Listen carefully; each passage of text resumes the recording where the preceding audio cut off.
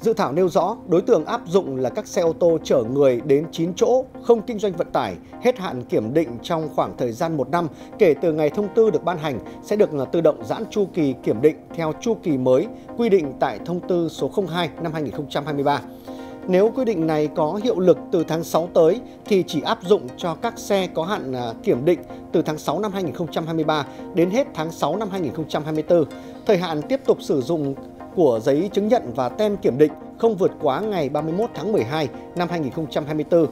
Theo thống kê của Cục Đăng Kiểm thì nếu quy định này có hiệu lực sẽ có khoảng gần 1,4 triệu ô tô đến 9 chỗ không kinh doanh vận tải được lùi thời gian à, kiểm định thêm 6 tháng.